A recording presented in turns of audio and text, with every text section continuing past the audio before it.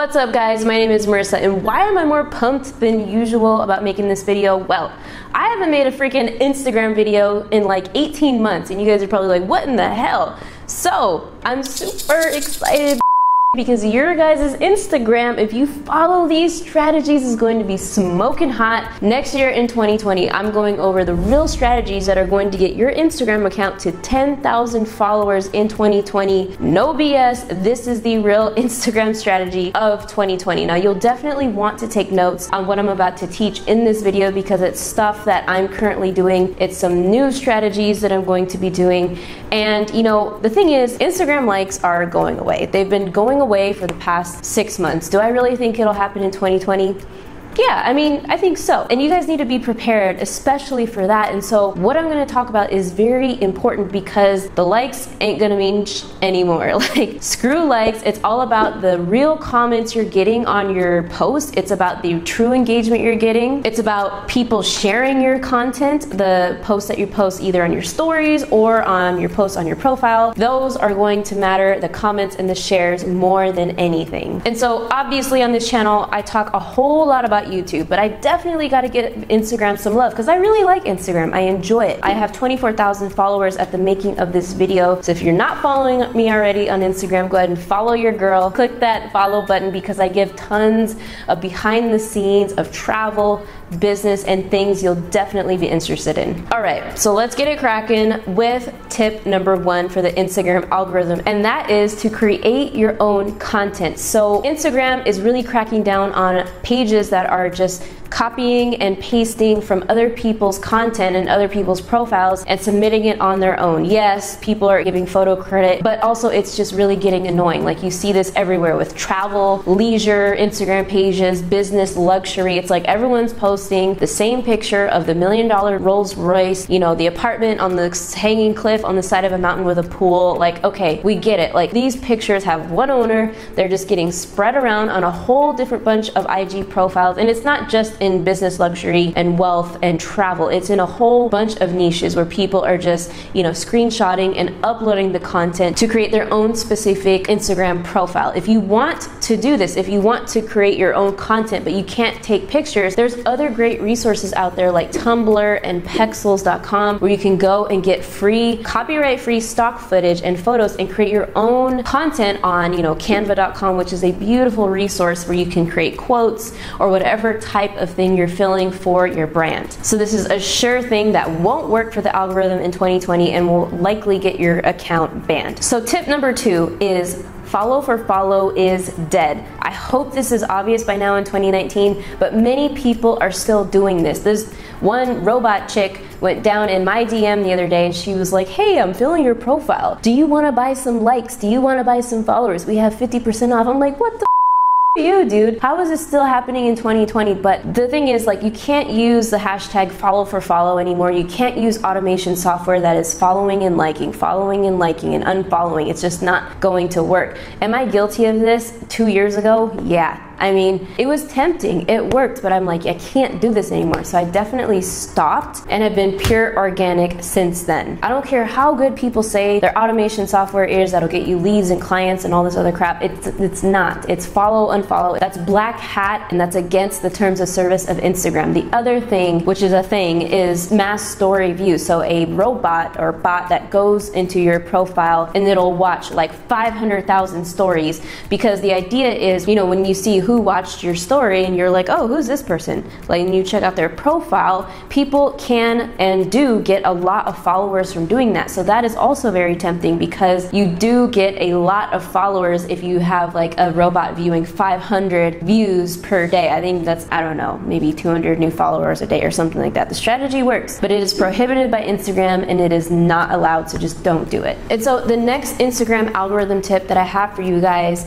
is to keep people on the platform. Just like any other social media, Instagram loves when you keep people on their platform. So, a great way on how to do this is to keep your story game in check. You want to be posting a minimum of three stories per day. And the way to maximize the amount of views is to post in the morning, around the middle of the day, and at night so that people are always actively seeing your um, profile with, with the little pink bubble around it pop up so they know, like, oh, okay, Marissa has an active story and you're at least showing three things throughout the day. So what can you post? You can post, you know, behind the scenes content of you doing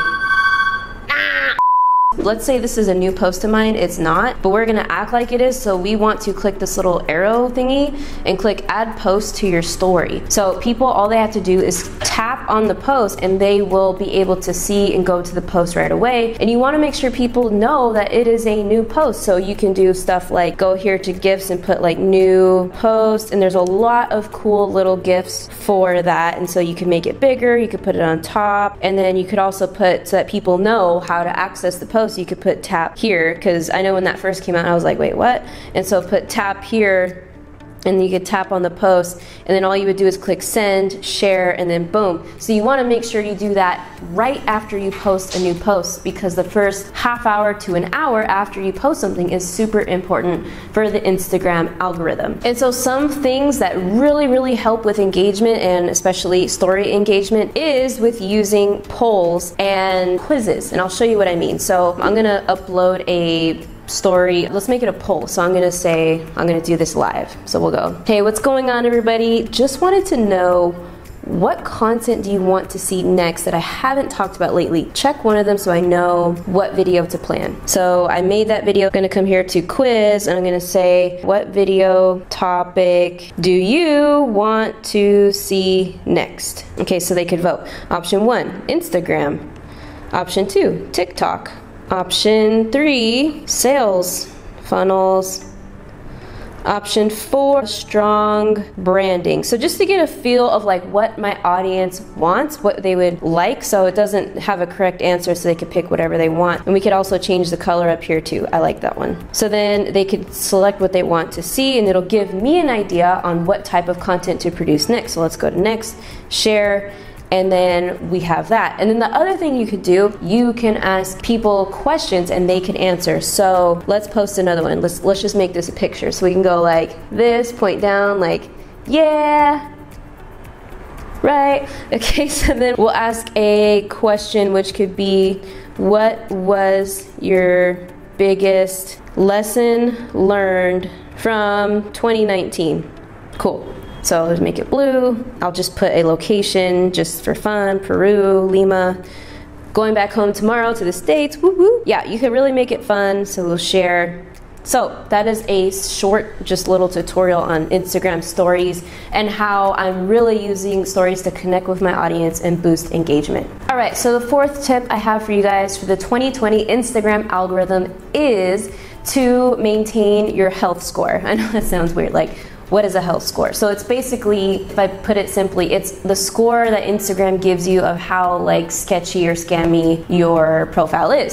So it doesn't want you to do illegal stuff. So it's just the following. So how do you improve your health score is to not do these types of things. So don't post any content against the TOS. So, you know, drugs, prostitutes, all that stuff. Don't do any of that. Don't use banned hashtags. So we don't want to use like like for like, follow for follow, hashtags that are banned. We don't want to use any type of automation for massive story watching, for follow liker, for follow and follower. The automation era is done. We don't want to have a bot doing mass commenting. So I think somebody told me once that they replied to 30 comments. They literally manually did. They replied to 30 comments within, you know, a half, I forget which time frame, but the Instagram algorithm was like, block, you're blocked from commenting. They're like, okay. So then the next one is do not use power likes. And then also DMing the same message over and over and over. That will definitely get you a DM block and you won't be able to DM people. So make sure all of that stuff is genuine. You know, if you have a virtual assistant that can help you with engagement stuff, that's fine, but make sure there is no bot involved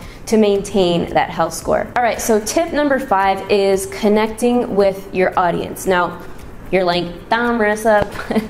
Really, you want to connect with your audience as best as possible. This is still something that I strive to get better at every single day. But for example, one thing I do and that you can do when you get a new follower is say hi. Go to their page, like their first three posts, comment on one of their posts if you like it, watch some of their stories, maybe reply back to a story, just so that your follower knows that you're there and that you're acknowledging that they're a new follower. They like that, and that's how they'll continue to stick with you. And make sure that you are replying to direct messages. I know sometimes this could be a little bit tough, but maybe pick two to three days out of the week where you do this. Is as your audience grows, you'll get more DMs in both your DM inboxes. There's two. There's actually a primary and a general if you have a business account. So if you connect your business account to your Instagram account, you'll see a primary and a general category, but also there's a third mailbox, which is the request of DMs you get. So you can't ignore the request. So make sure you're going into the request, seeing who's in there, and replying to those people as well. But the cool thing about primary versus general is maybe let's say you want to put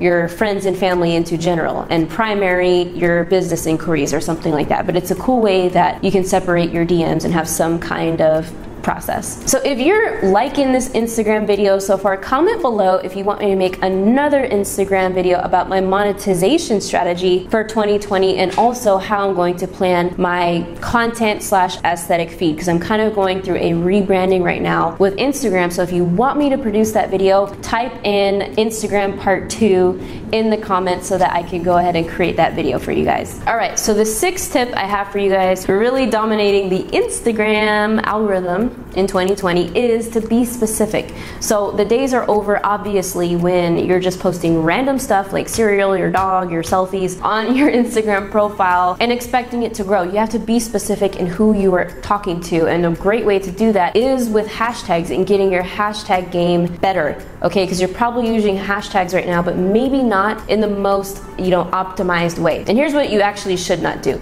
Don't use the same 30 hashtags every single post because on top of all the other things that Instagram doesn't like, it doesn't like hashtag spamming where that's what you do. You use the same 30 hashtags on every single post Instagram does not like that. They like you to mix it up. So here's kind of what I do. So if you look at this picture or this photo right here, it's actually of my latest Machu Picchu photo, but I use my digital nomad category hashtags. So what I do is I mix a few small hashtags, meaning they have 50,000 uses or less, and then I'll use a group of like mediums, so like 100 to 500,000 views in between there, and then I'll use the bigger ones. So I'll have like a pool of big ones, medium hashtag sizes, and small hashtag sizes, and I, that strategy has been working really well for me. So I actually have different categories of hashtags, like I have my entrepreneur hashtags, my girl boss, my YouTube hashtags, my digital nomad hashtags so I'll use